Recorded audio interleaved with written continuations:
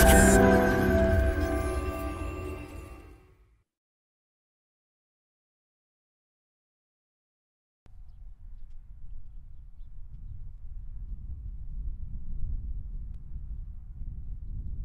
this is K Rail for Pine Pollen Superfoods.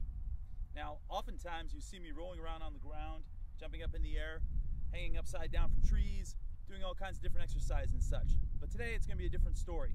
Today I'm doing episode number two in our series of testosterone boosting videos. And I'm excited to talk to you about one simple thing the sun. If you want to do one really easy thing to help boost your testosterone levels, follow along here. Try to get 30 minutes of sun exposure as early as you can in the day for two weeks in a row. You know what's going to happen? Your testosterone levels are going to go like this. Straight up in the air. 70% or more increase in testosterone.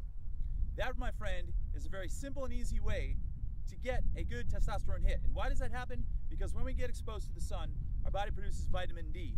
And if you know anything about how the body works and anatomy, vitamin D is a precursor to testosterone production.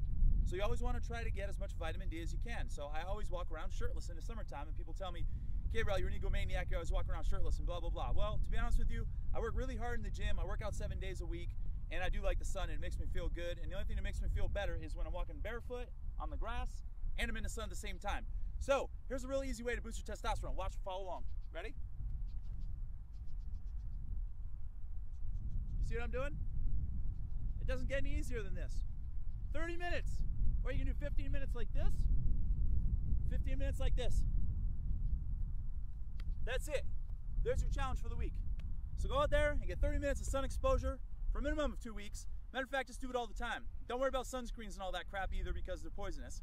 If you're only gonna be out there for 30 minutes, you don't need any kind of sunscreen or any kind of blockages from the sun. You wanna try to get as much skin exposure to the sun as you possibly can. Okay? Great. This is K Rail reporting live from Park City, Utah for Pine Pollen Superfoods. If you have any questions or comments, feel free to hit me up. See you later.